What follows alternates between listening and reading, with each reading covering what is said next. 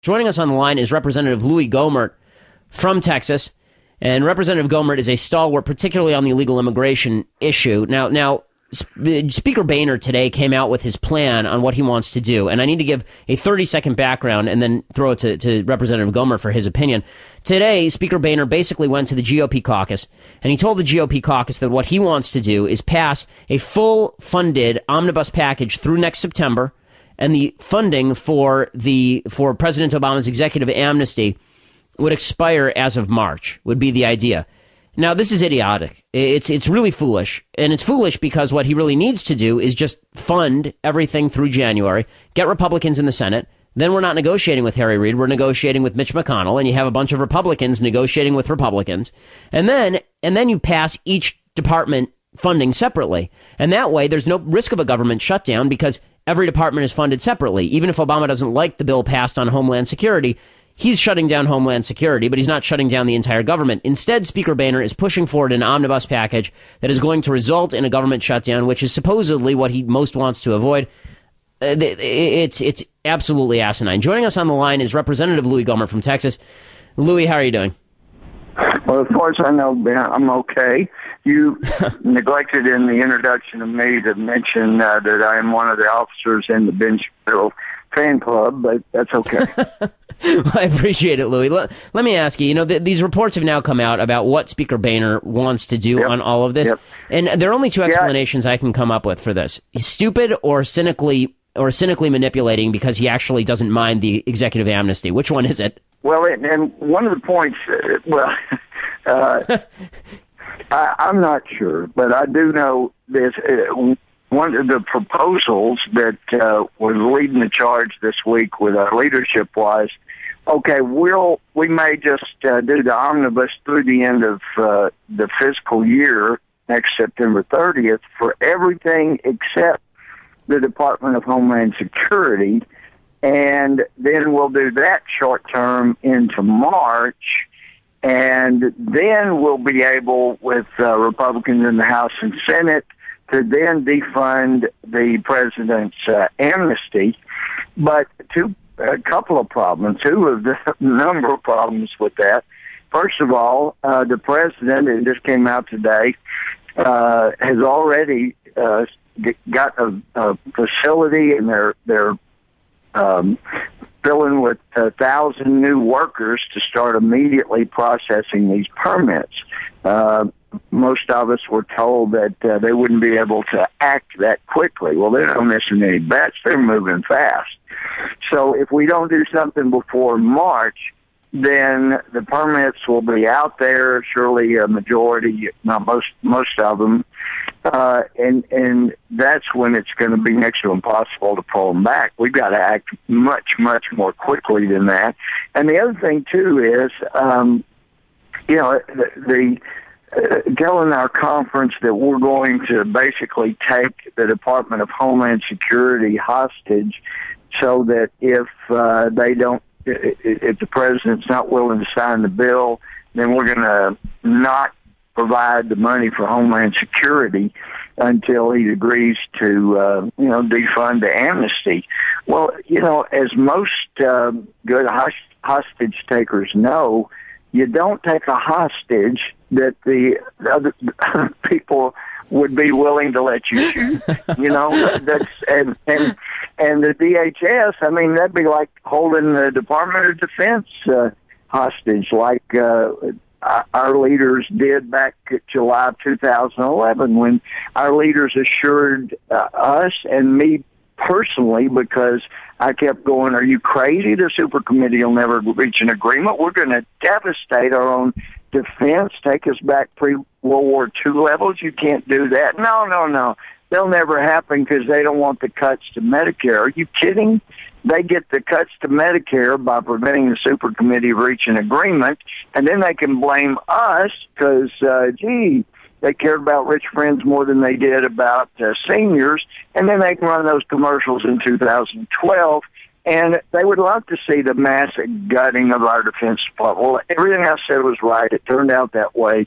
You can't hold the Defense Department hostage with this administration. You can't hold the Border Patrol hostage say, gee, we're not going to fund the Border Patrol if you don't defund your amnesty. Really? You mean you're not going to pay for Border Patrol to secure the border?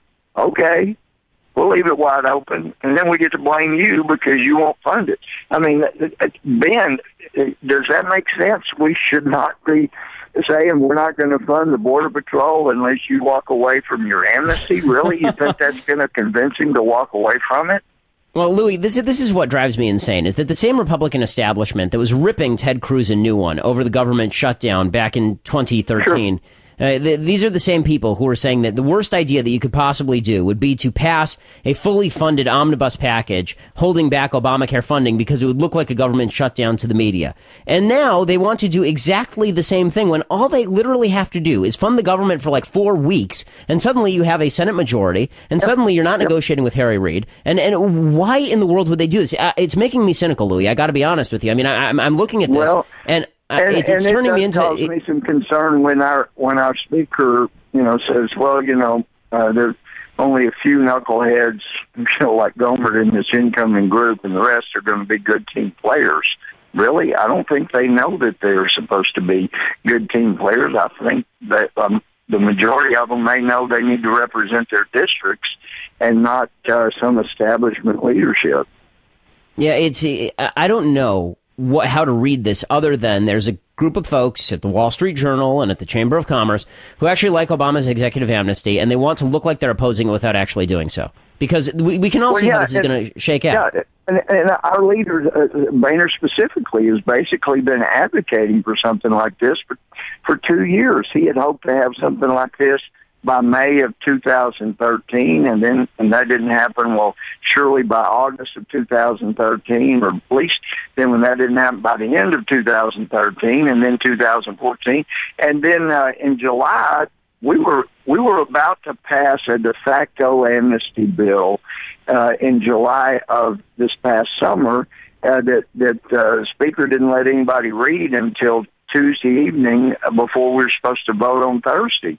And thankfully, um, and I read it and finished about 2 a.m., laid down for three hours, reread it, and then uh, met with Michele Bachmann, Steve King, uh, first thing that, that morning and said, here are all my notes. Can you believe this?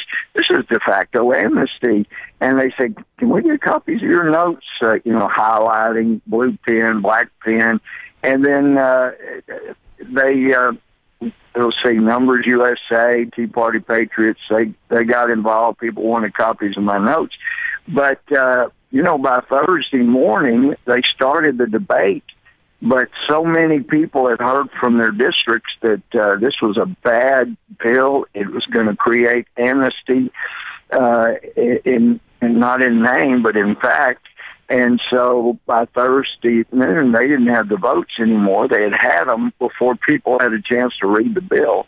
And I'm afraid we're going to do the same thing with this thing. Uh, we're we're being told that uh, they hope they'll have a vote on Wednesday, and they'll try to have it filed by you know like midnight on Monday. We'll get to see it probably on Tuesday, and then vote on Wednesday. This is a massive, massive bill and you can't help but wonder how many of the people that are already telling uh, the Republican whip team, yeah, I'll vote for it, were making promises in 2010. I'll never vote for a big bill like that unless I have a chance to read it.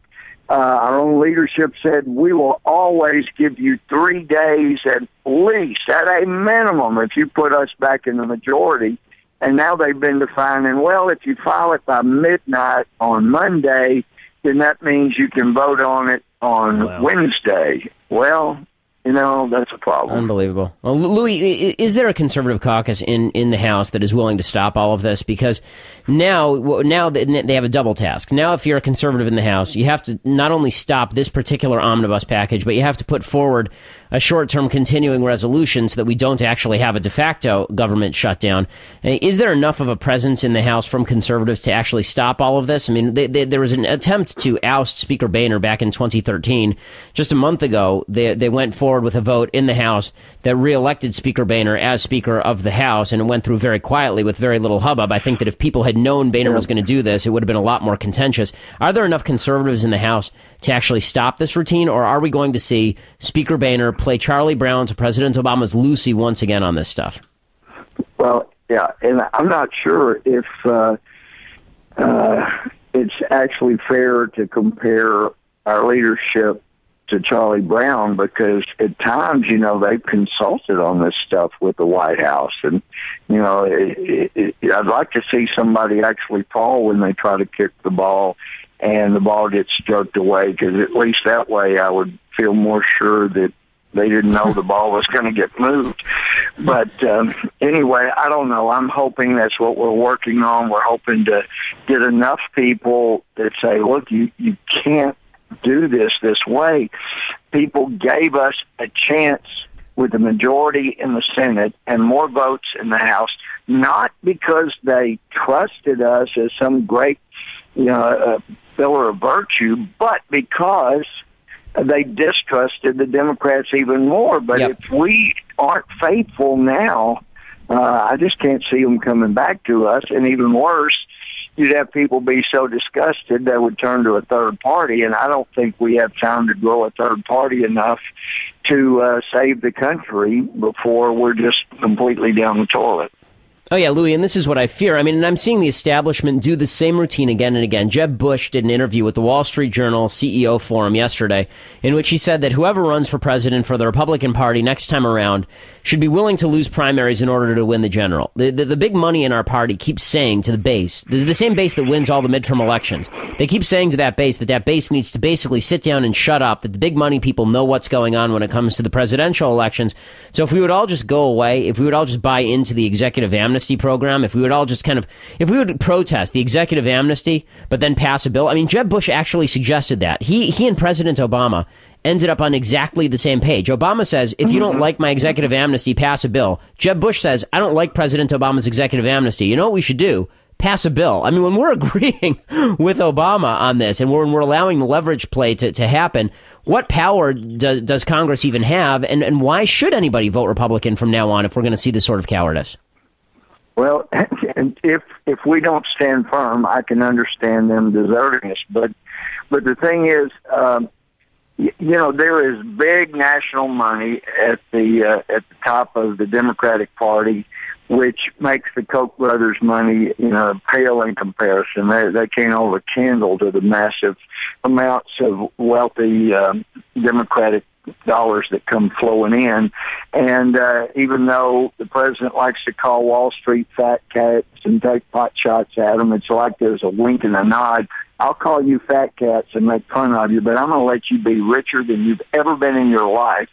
And Ben, I think we ought to make more of the fact that uh, the president himself admitted a year ago that uh, for the first time in the history of the country, 95% of the income in the United States um, during his administration has gone to the top 1% income earners.